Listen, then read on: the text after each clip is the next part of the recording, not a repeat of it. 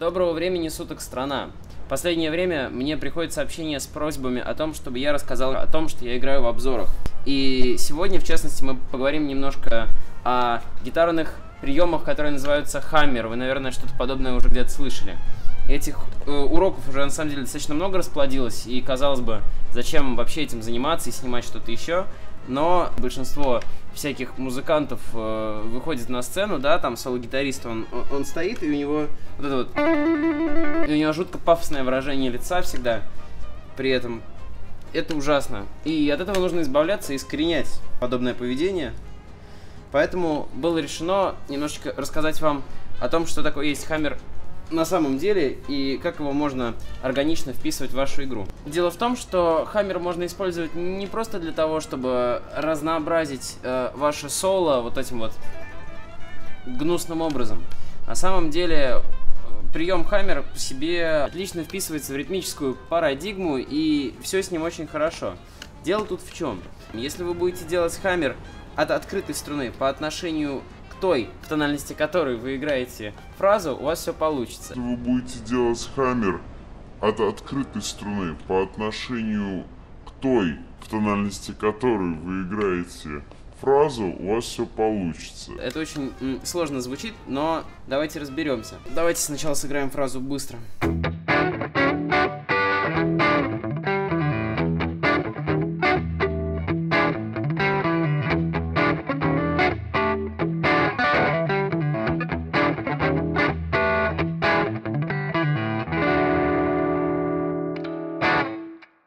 Вот здесь вот у нас э, есть аккорд.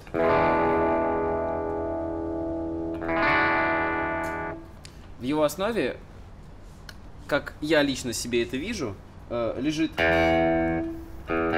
открытая струна, то есть ми, и следующая пятая на, на, на, на седьмом ладу. То есть прямая октава.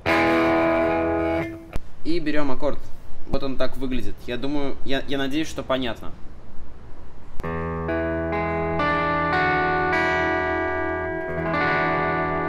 А теперь смотрите, что мы будем делать с вами. Мы берем руку, указательный палец любой другой, вот допустим рок, предположим, рок, и делаем так.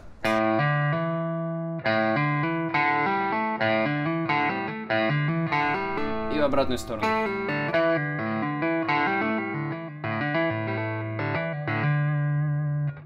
Если делать это с палмьютингом, то получается несколько интереснее, потому что кладете ладошку и звук так немножко топится.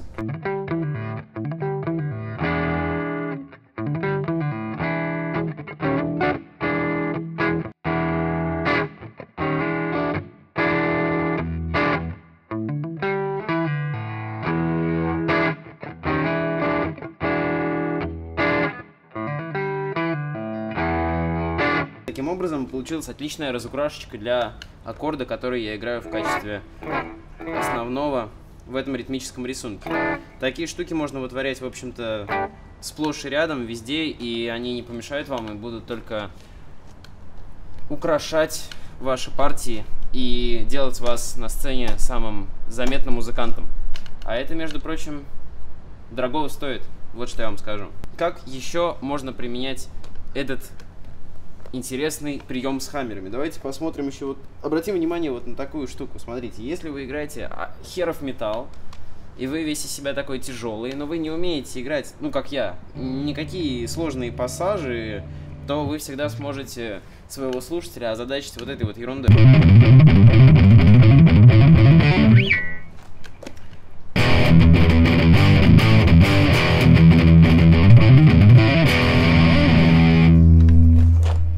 Мы опять берем рок и ставим его на третий и шестой лад. И вот эту фигурку мы играем по очереди и двигаем ее как хотим. Получается очень прогрессивно и молодежно.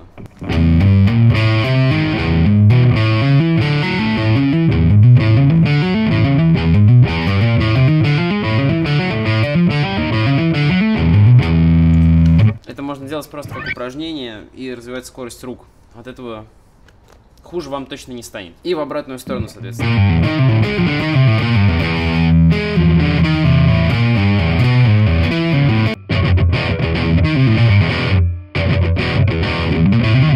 еще вот эти вот штуки, вот эти вот хаммеры, которые мы делаем, они очень могут вам помочь и выручить вас, если вы пишете партию в нестандартном размере, и вы не знаете, как закончить квадрат, как оборвать его, как вот вместиться вот в эти странные 7 четвертых или 11. И тут они обязательно придут вам на помощь. Вот посмотрите.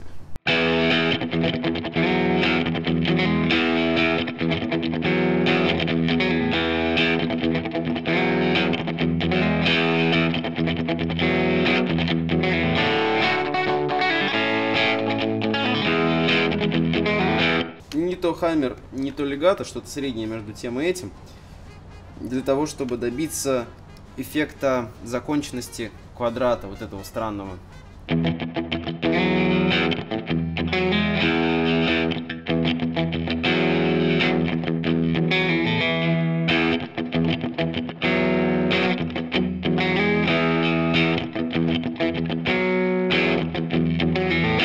И звучит очень живо и интересно.